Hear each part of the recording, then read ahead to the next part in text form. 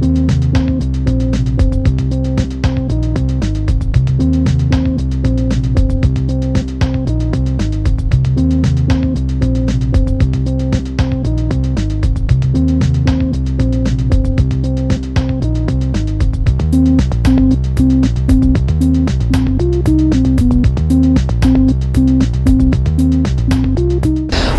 Bonjour, je suis David Hill de New York Habitat.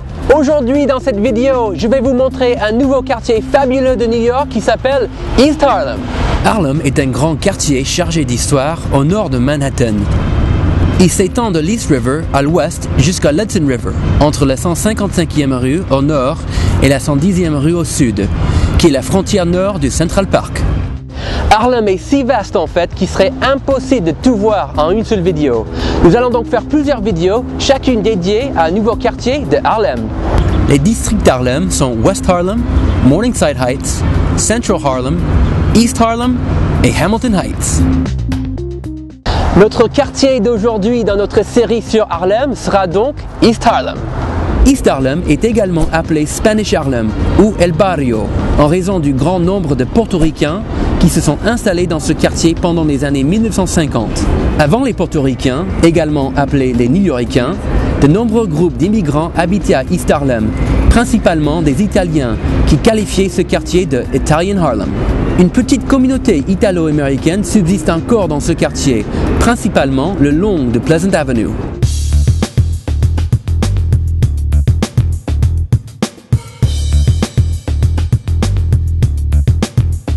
Je suis devant le musée Del Barrio, un musée qui a été créé dans les années 1960 par des enseignants, des parents et les membres actifs de la communauté qui souhaitaient apprendre et exposer aux enfants l'art ainsi que la musique et culture latino-américaine et caribéenne.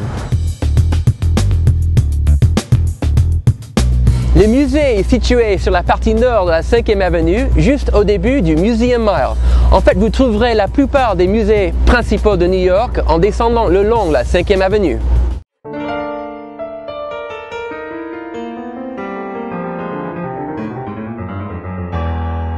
Juste derrière moi se trouve la sculpture de Edward Kennedy Duke Ellington, qui se trouve au coin de la 110e rue et la partie nord de Central Park.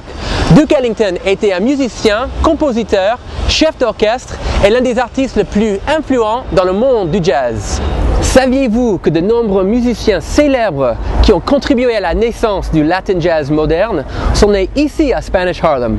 L'un d'eux est Tito Puente, qui est né ici même en 1923. En jouant du piano, de la batterie, de la clarinette et des timbales, il a fusionné le mambo, le jazz et les percussions afro-cubaines pour les élever à un niveau supérieur. En août 2000, East 110th Street a été renommé Tito Puente Way en l'honneur du roi du mambo. À un pâté de Tito Puente Way se trouve un croisement appelé Machito Square, nommé en l'honneur de la roi de la musique latine, Frank Machito Grillo. Et n'oublions pas aussi Celia Cruz, la reine de la salsa, qui a chanté lors de nombreux concerts en compagnie de Tito Puente et Machito.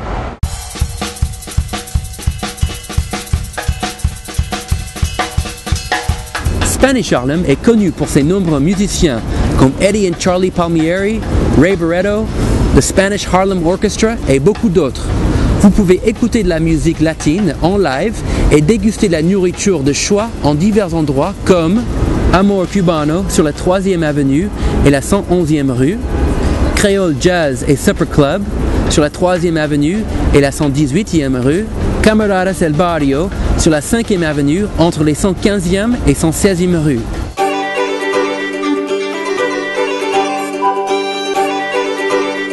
Certains vestiges de l'immigration italienne sont encore visibles ici à East Harlem. Nous sommes à Patty's Pizzeria, fondée en 1933. C'était la première pizzeria de New York à vendre les pizzas à la part. Ne manquez pas cette ambiance latine et jazz de East Harlem, tout en savourant une bonne part de pizza. Le meilleur moyen de profiter de ce formidable quartier est de louer un appartement meublé, une location de vacances ou bien une chambre dans un appartement en colocation. New York Habitat propose de nombreux appartements à East Harlem. Visitez notre site au www.nyhabitat.com et réservez votre appartement favori. N'oubliez pas que East Harlem est proche de Museum Mile, de Central Park et de nombreux autres lieux immanquables de New York. Pas loin de Patsy's Pizzeria se trouve un autre restaurant ici à Harlem à ne pas manquer. Il s'appelle Raro's et il est connu pour sa cuisine du sud de l'Italie ainsi que sa sauce tomate à importer. Il est également connu pour avoir être apparu dans la série télé Les Sopranos.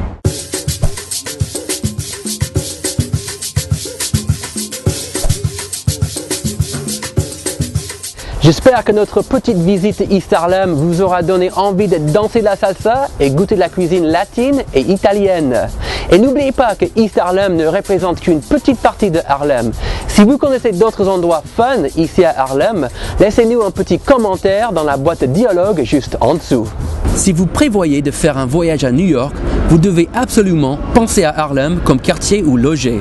C'est seulement à quelques minutes de downtown New York et les appartements meublés sont en général moins chers que dans d'autres quartiers de Manhattan. Visitez notre site au www.nyhabitat.com et cliquez sur votre location de vacances favorite à Harlem. N'oubliez pas que nous avons des appartements non seulement à Harlem, mais également dans tous les autres quartiers de New York. Je suis David Hill de New York Habitat. Cela a été un vrai plaisir de vous faire découvrir East Harlem et j'espère vous voir très bientôt ici à New York City.